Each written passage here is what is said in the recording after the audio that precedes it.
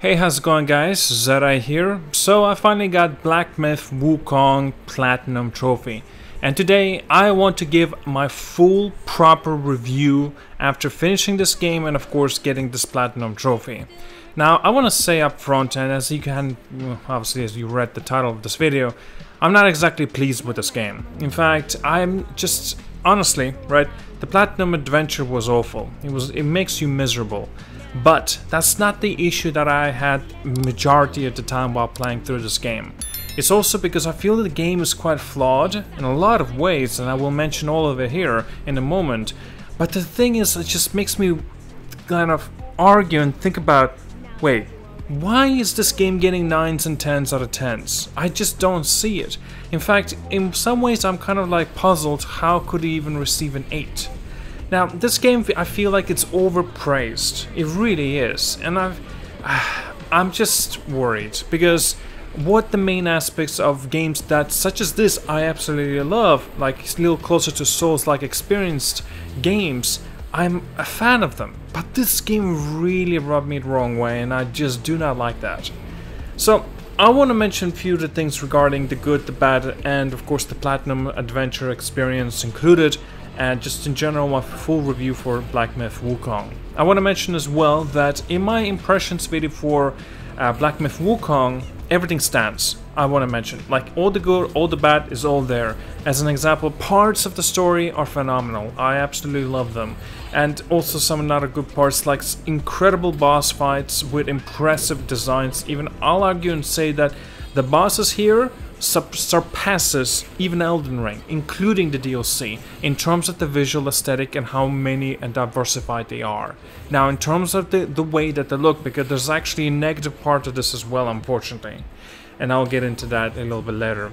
Now, regarding another positive, regard, uh, like I already mentioned my impressions video about the combat, when it clicks, it really clicks. It gets fun. It gets it gets interesting. But once again, there's a negative into that point as well, I will mention it in a little bit. It's absolutely stuffed with plenty of content for you to do, and of course if you're willing to find it as well, because there's plenty of secrets to uh, find out there as well. Now, again, it's not exactly straight up well, I have to mention it in here anyway. Maybe there's a little bit of a mixed feeling I have about this. It's basically, it's not exactly clear or where you have to go or what you have to do to find these places. Because this game doesn't have a map, this game doesn't have anything that can like, give you a little bit of a help. And I'm not saying that I need a tutorial or maybe I need a helping hand. No, I would just give me a little bit more of understanding where I need to go right? In some ways Elden Ring does that, some ways, now nevertheless Elden Ring and just like From Software games in general, they are very cryptic in the way they're at, uh, you know, tell their stories or the ways that you will be able to find out what to do next. It's very cryptic. It's, maybe it's understandable, that's why I said it's more of a like kind of a mixed feelings I have about this part, so I can't really say it's a good or bad thing. Now, it delivers some of the spectacular and beautiful design of this world. It very is eye-popping and all the secrets to find. And on top of that, incredible music design and beautiful music, songs, and everything that has been portrayed and played here. I absolutely adore and love. But that's it. These were all the positives within this game that I've experienced. Everything else, well, in part of this video anyway, is gonna get into negatives, and there's a lot more negatives that I have to mention. So, the story, as I already have mentioned, right? Some parts of it are phenomenal, some parts. But ge general, this story overall is not very good. It's very cumbersome, but also you really have to know the story and be at least somewhat knowledgeable regarding of the journey to the west. And I had no clue about that. I do know who is Wukong, right, in general. But not to the point that just I know how the story evolves and goes around through the journey of the West and who exactly is Wukong. I know only what I've seen and learned from Wukong from manhwa and manga, anime, and of course different styles of these entertainment, right? But that's really it. It's very, very kind of like bleak, if that makes sense. And as such, after that, I just was very difficult for me to follow through this story of how it was about uh, was going to go about, right? Now, I was a little bit confused as well regarding the ending. Uh, do not worry, guys. I'm not gonna uh, spoil anything. Don't worry. Now also regarding the ending, I actually will on purposely make sure not to include any sort of gameplay that will be at the very later stage of the game. And, but I will have a little bit of diversity in terms of my earlier on gameplay and when I'm like really over leveled gameplay as well. Like it's just right there now, then and there when I finally replayed this damn game three times just so I could get this damn platinum trophy because it was very tedious and I will get into that a little bit later. So, combat, let's touch on that unfortunately. Like I already mentioned, there's some parts that are good, some parts, know, fucking a lot of parts are bad. I hate the fact that the combat actually starts to feel quite restrictive and gets actually very, very dull. Best word to use it is repetitive. Now, I what I hate about that, let me explain because there's some parts people will not understand what I mean by repetitive or dull. The animation locking number one is a problem I feel that this game has, especially when you're in that light attack combo, it genuinely feels awful, and especially when you're about to uh, like land a last hit while you you know utilizing this combo, you can't do nothing about it. You're screwed, especially against the bosses, or actually even normal mobs too. And as such, it kind of makes me question, is there something wrong with the button layout or the sensitivity? Because I notice this quite often. It just feel like they don't work half of the time. It happens more often than I can count, and where I, as an example, mash a button so I could get health back up, right? A potion back up, right? And just he doesn't do it. And I'm like, come on, dude, am I doing it too fast? Do I do it too often? And then, uh, no, that can't be right, because occasionally he does do it. He does get himself back up. It's so awkward and so awful, really. Now, I don't have a problem how slow he takes, you know, his health. You know, how he, slow he drinks his uh, gouge, gouge, I believe that's how you pronounce it. I apologize, but like basically that's not the issue because you can actually upgrade that. There's a specific gouge, gouge portion that you can actually take quickly, and you replenish your health. There's sort, it's done on purposely. It was done by the design. My problem is it feels like when I'm telling my character to get health back up, bloody do it, please. I'm in the middle of the boss fight, and this boss is ridiculously fast and doesn't give me room to breathe. Oh my god, don't get me started with about the bosses. The bosses are either complete pushover or just takes hours to complete and beat. It's just no real variety in terms of the difficulty. Like, it's too easy or they're way too damn difficult. Regarding the being difficulty, and in terms of the bosses and varieties that you go to face through, I hate this. In terms of the progression that you make through this game, your raw stats never upgrade all you do how you become stronger is by and due to your skills right your equipment and your weapon I actually want to level up my stats, my raw stats. I want to get stronger that way because I feel that I'm not really progressing. Don't get me wrong, in terms of how, you know, if you make a comparison between level 1 uh, Wukong and comparing to like maybe level 300, right? Obviously there will be some differences. But again, it's not as big of a difference as you would see from level 1 to level 300. In Elden Ring and just from software games in general, when you level up, you can clearly see how strong you are. When you were level 1 and when you were level 150 as an example, or 200, 300, whatever, you feel like, okay, this is a normal mob enemy. Before I used to 2 to 3 tap him, but now I can just 1 tap him and he's easily done and easily killed. I just don't feel this kind of a progress while I even finished the whole game three times going through the story and getting a platinum trophy and yet I'm going to my uh, to the older mobs that I just well was a little bit struggling at the very very beginning of the game but now I can easily kill them. No, I can't do that. I still have to 2 to 3 to 4 to hit them. Uh, yeah, sure, the damage scaling has increased and I actually do feel okay, I'm actually stronger, but I'm not that stronger. And it's just, I feel, I don't feel good about it, unfortunately. It feels like I wasted my damn time, and I'm just like, I don't feel the progression. Sucks, man. And regarding the weapons, remember I already mentioned that, okay, you can level them up, you can sort of change them too, and obviously they will be beneficial to you.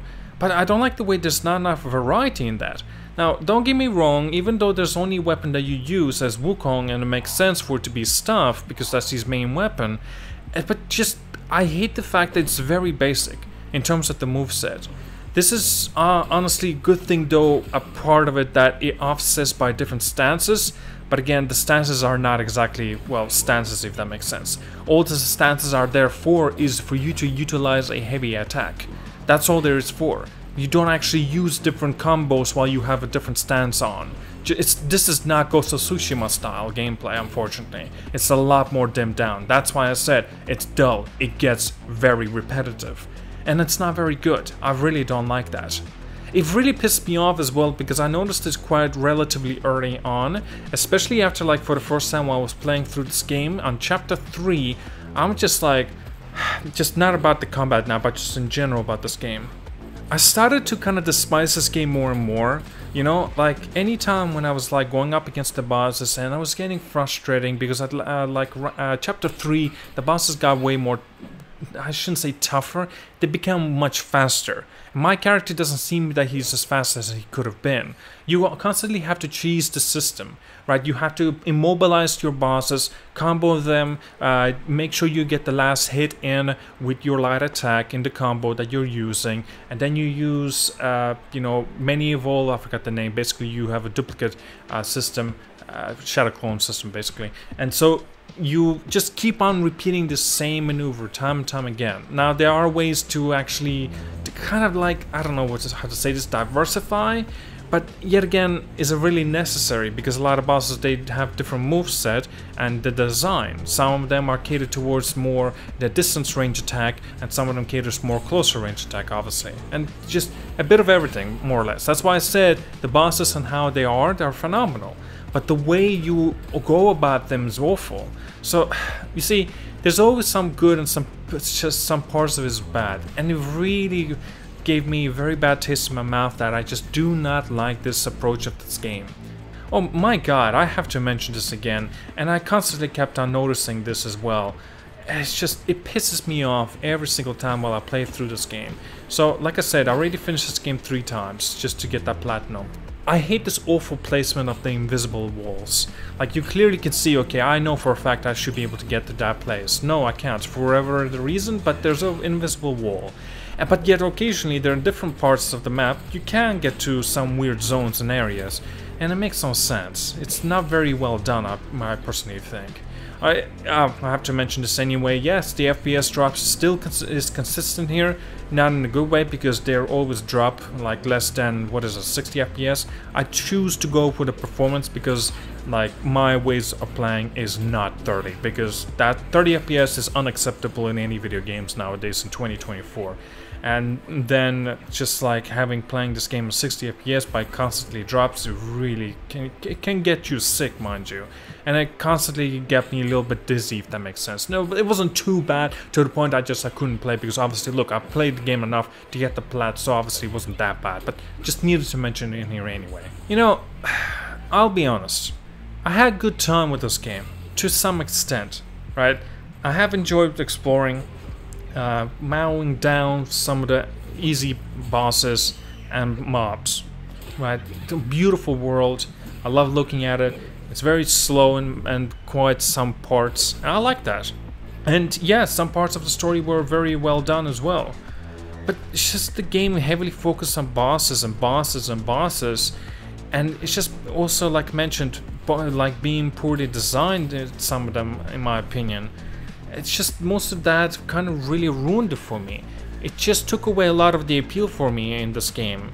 I started to kind of not enjoy learning the you know the boss's mechanics. I'm just glad that it's over, and knowing the fact that well, this is, I believe this is rumors. I may not be uh, may not be correct, but I did hear something about that Game Science will be making a sequel and also two DLCs or something for this game. I know that for a fact I will not be picking up a sequel or a, a DLCs. Unless, of course, if they make these radical decisions and changes within this game. Like, for example, I want to feel actually that I get stronger while I level up.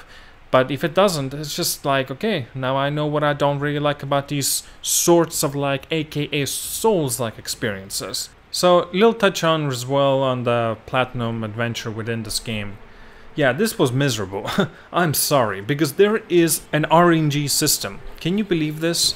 And it's just pissed me off. Especially when I was playing this game, I did not know that this game had any sorts of RNG system within of getting some of the trophies. And it really much, like, pretty much, I had to replay the game all, all the way through again the third time because most of these RNG systems trophies, oh my god. And on top of that, some of the guide, I had to use a guide because this was not possible. Some of the trophies don't even explain explain to you in the description what you have to do. They're very not like clear about that. Um, yeah, sure, maybe some poetry or something that they've included in those trophy lists and the description, but it just makes no sense to me at least. Like mentioned, I don't know the story of Journey to the West and how it goes about. Maybe people will understand it, but me personally, not so much. Ah, there's so many these stupid trophies that they decided to put in here.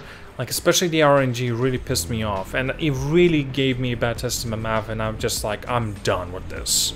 Man, going up against these bosses, especially uh, every time I notice that when they're about to land an attack on me, and I know for a fact I got out of the way because the only way really you can dodge, well, just dodge. Yeah, you can parry, uh, but again, that's part of the ability, so it doesn't exactly count as normal parry. Nevertheless, you dodge out of the way, you know for a fact you got out of the way, but your buttons don't really work, it just, just doesn't seem like it, and they land an attack on you and you get hit.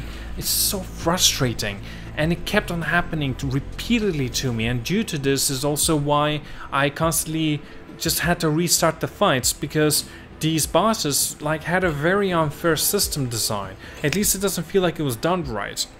It's there's something about this game really much just rubbed me the wrong way. And I don't know if I really liked the experience of this whole adventure. Ah, such a wasted opportunity personally for me. Uh, if I would have had to give it an over score, overall score, it's definitely like maybe it's maybe like something like a six out of ten. It's nothing special. I do not recommend getting a platinum trophy within this game because if you're gonna get a six, uh, like a platinum for this game, a fucking three out of ten because this is not worth it. It's it's going to get you miserable. Uh, well, yeah, I feel like I dragged on long enough with this review and it just pisses me off talking about this game even more. So yeah, no more of this game, thank god done with the DLCs. definitely not going to be picking that up. And I'm done with these, just this franchise, if that makes sense. It's not for me. What a disappointment. Alright guys, thank you so much for watching. Like and subscribe, and I'll see you guys all later.